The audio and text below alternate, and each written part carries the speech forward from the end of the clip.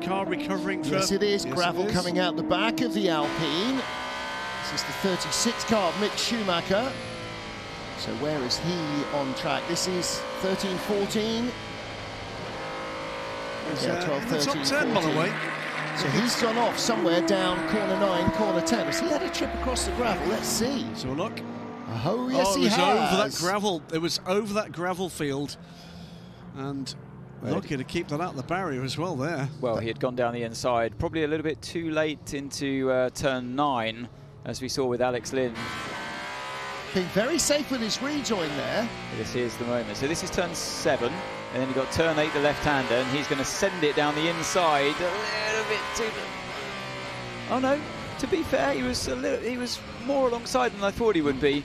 And I think he was just completely unsighted and away from the GT guy. I don't know who he was overtaking. It was one of the Ferraris. Yeah, it was uh, one of the Vista Ferraris. He comes around, so he won't get pinged for an unsafe rejoin or, or anything. But he, he committed and then locked up.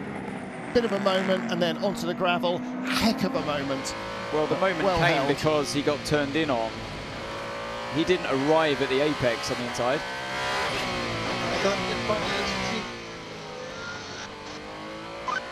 Okay, copy. Can you check the car? All is okay? Yeah, I think so.